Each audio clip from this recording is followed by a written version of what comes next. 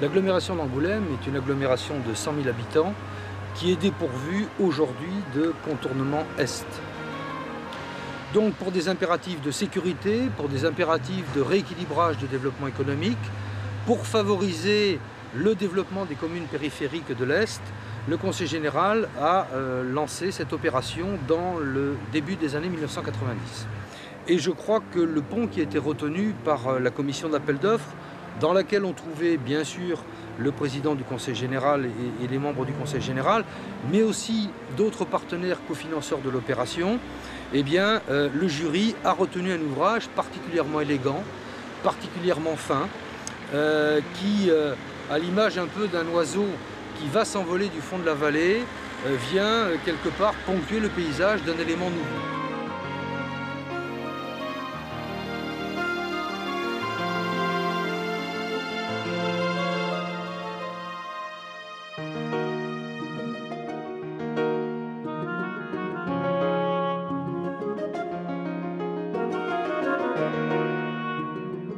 Le profil souple et doux de la vallée, la présence de l'eau qui s'écoule paresseusement sur le fond plat, ont inspiré le projet architectural.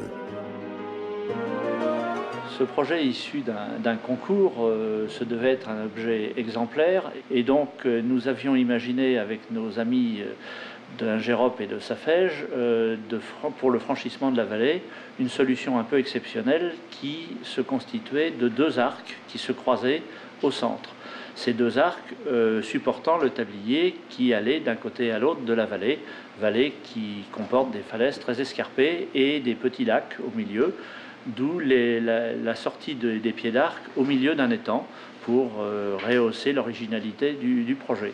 Les arcs vont donc jaillir du petit lac et au lieu de redescendre dans le fond de la vallée, notre arc, nous avons décidé de le continuer parallèlement au tablier pour aller s'appuyer sur la crête des deux falaises de chaque côté.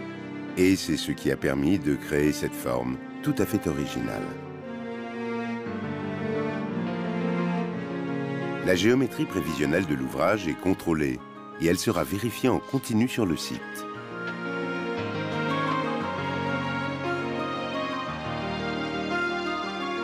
Structure de cet ouvrage fait appel au concept ancestral des arcs. C'est un concept que l'on retrouve depuis les ponts génois jusqu'au temps moderne, avec les arcs béton et les arcs en acier. Un arc, qu'est-ce que c'est? C'est quelque chose que l'on peut réaliser à deux personnes en se penchant au-dessus d'une mare d'eau ou d'un obstacle infranchissable et au dernier moment en s'appuyant l'un contre l'autre en se poussant sur ses mains. C'est cette poussée qui fait l'essentiel de la structure de l'arc. Ici, pour des raisons architecturales, on a souhaité dissocier cet arc en deux parties, deux demi-arcs, qui se tournent le dos. Encore fallait-il équilibrer cette poussée pour ne pas tomber. Nos deux amis l'ont réalisé en empoignant une corde qui permet, en l'attendant entre deux, d'équilibrer la dite poussée.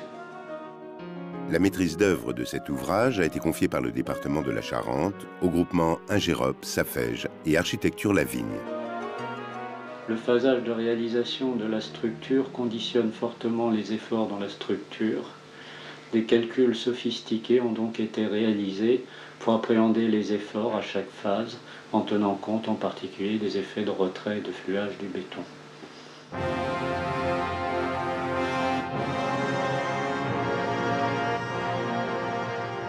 Le déboisement nécessaire est réduit au strict minimum. Pour la durée de la construction, l'anguienne est provisoirement dérivée. Le chantier peut commencer.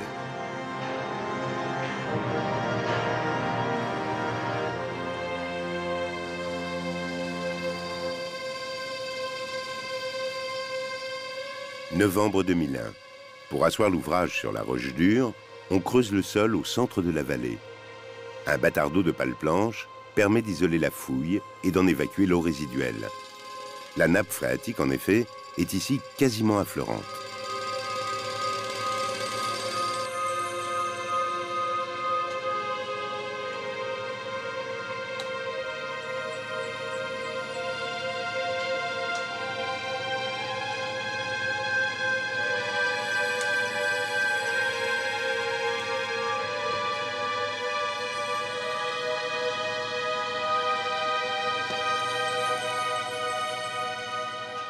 Alors les deux massifs de béton qui assurent la fondation des arcs à 8 mètres sous le niveau du sol initial, et on les réunit par un tirant de béton précontraint, nécessaire pour équilibrer les poussées en pied d'arc.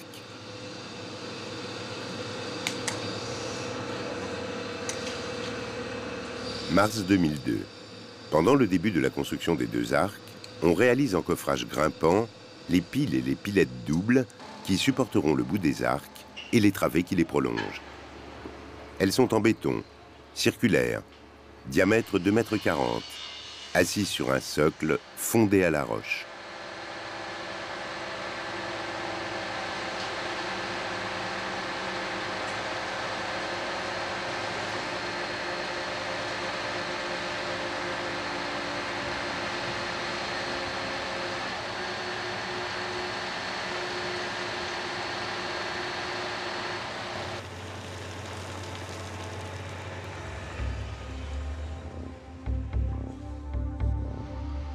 Les départs d'arc sortent du sol grâce à un coffrage métallique spécialement conçu pour le chantier.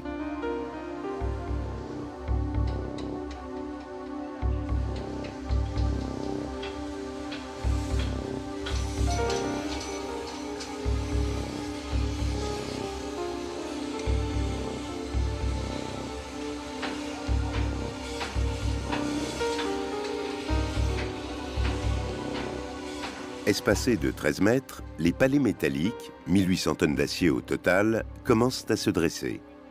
Fondées au calcaire, elles supporteront et sécuriseront les arcs pendant leur construction. Juillet 2002, le croisement des arcs, un moment du chantier extrêmement délicat, est réalisé. Les palais sud-ouest sont complètement terminés. Au nord-est, les piles sont maintenant prêtes et le montage des palais a débuté. Nous avons construit euh, l'arc jusqu'au cœur. Le cœur, c'est le, croisement de la partie inférieure des arcs. Et nous entamons la construction de l'arc euh, au-dessus du cœur jusqu'à la pile P2. Euh, nous avons réalisé euh, environ une trentaine de mètres. Nous avons encore une soixantaine de mètres à faire pour atteindre la tête de pile. à la suite de ça, nous descendrons tous les outils coffrants, nous les replacerons, repositionnerons au droit du cœur pour construire la partie symétrique de l'arc vers la pile P3.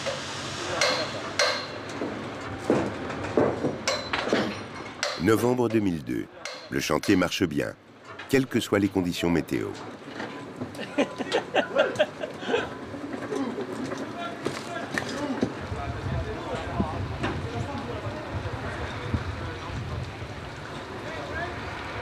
Un arc complet en béton composé de trois rayons de courbure différents mesure 150 mètres. Il est réalisé grâce à un coffrage qu'on déplace au fur et à mesure sur les palets et qui permet de couler d'un coup 6 mètres 50. C'est bon là. C'est bon.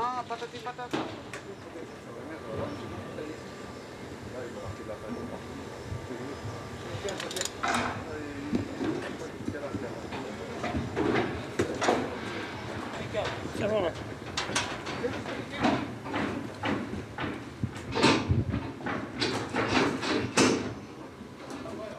Levou. Ela encosta a mão, segura.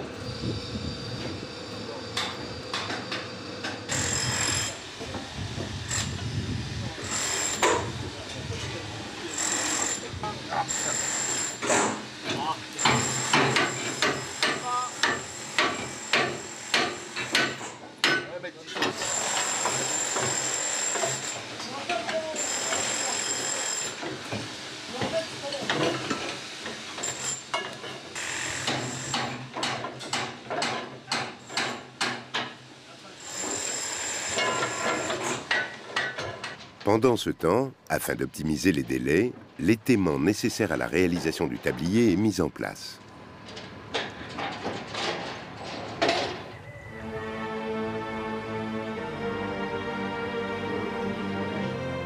Et toujours, régulièrement, les réunions de travail des différents acteurs autour des documents et sur le terrain. C'est mardi, et j'étudie fin de semaine, donc le jeudi.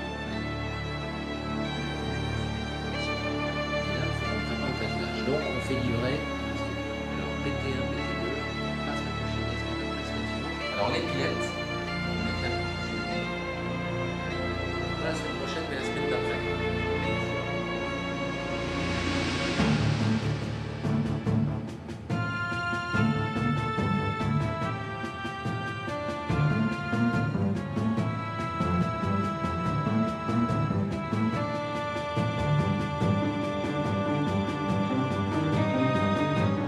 La partie qui établit la jonction entre l'arc et le tablier et qui reçoit de nombreux ancrages de précontrainte, le clavage, demande un soin tout particulier.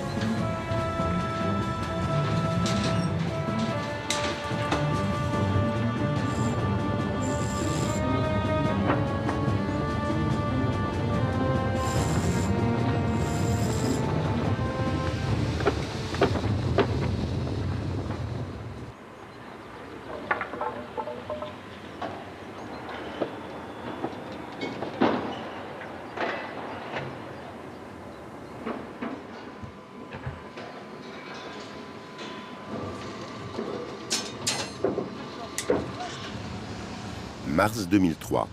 Huit petites pilettes de 80 cm de diamètre, appuyées sur les arcs, vont recevoir le tablier. Le tablier est une dalle mince de 90 cm d'épaisseur et de 200 mètres de long.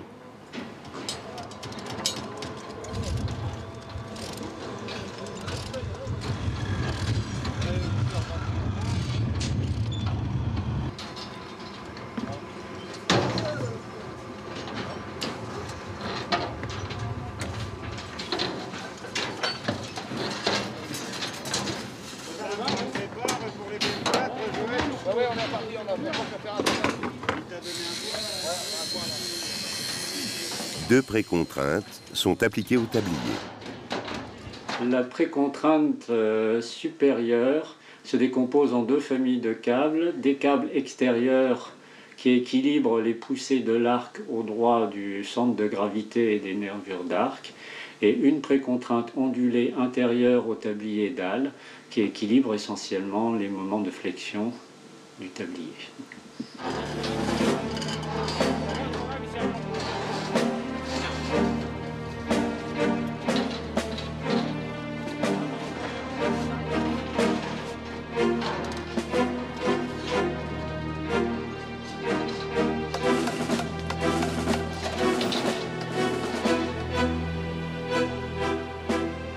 Une fois les câbles mis en tension, les arcs sont stabilisés et on peut alors enlever les échafaudages de support du tablier.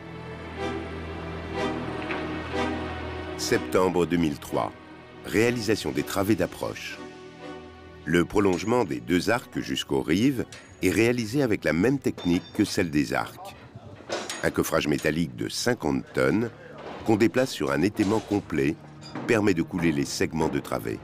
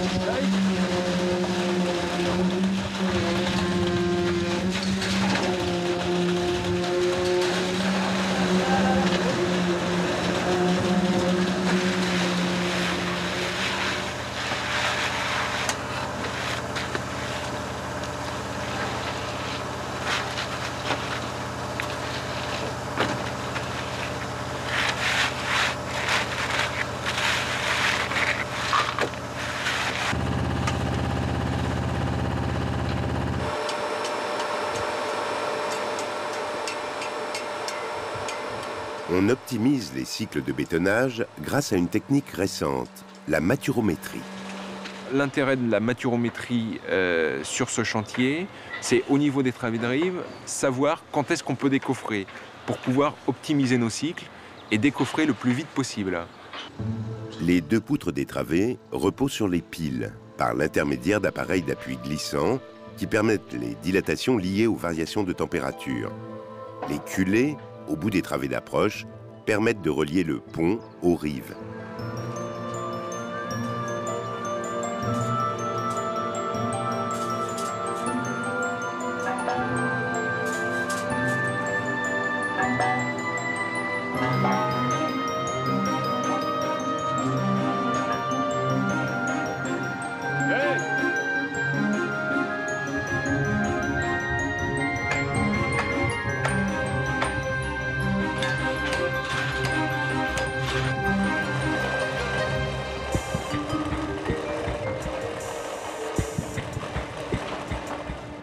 Prépare les bordures de tablier pour recevoir les équipements de finition.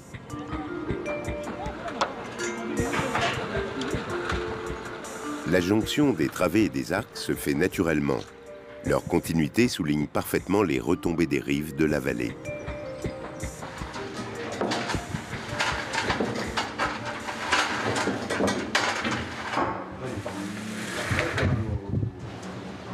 Ah, Manu, c'est parti. Novembre 2003. Après les câbles de précontrainte nécessaires à la stabilité du tablier central et des arcs, on s'occupe maintenant de mettre en place ceux des travées de rive. Stop, c'est bon, tu peux couper. Stop.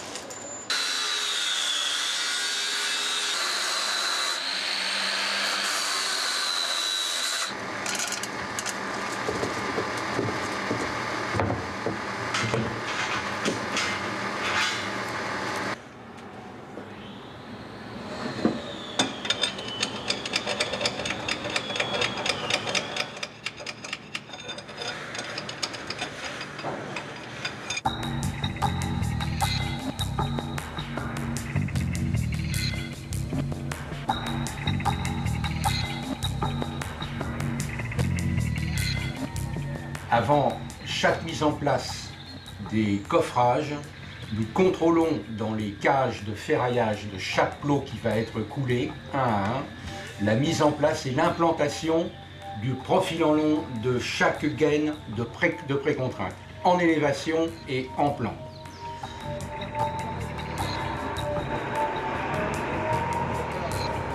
Une fois toute la précontrainte mise en œuvre, il ne reste plus qu'à démonter le reste des palais et à réaliser les équipements.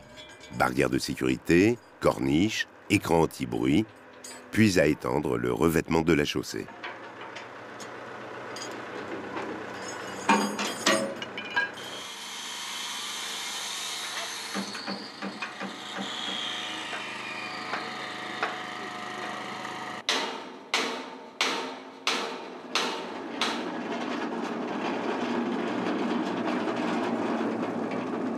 Conception originale, cet ouvrage présente une silhouette fine et élancée qui s'intègre naturellement dans la vallée. 6000 mètres cubes de terrassement, 8700 mètres cubes de béton, 900 tonnes d'acier, 200 tonnes de câbles de précontrainte.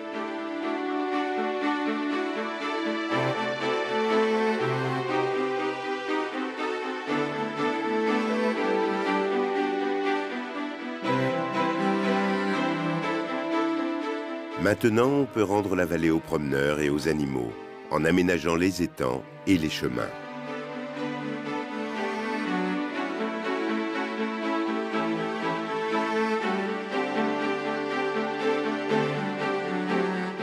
« 12 millions d'euros et quelques centaines d'hommes ont été nécessaires pour aller au bout de l'idée, de la création et de la réalisation de ce projet original, beau et utile, le viaduc de l'Anguienne.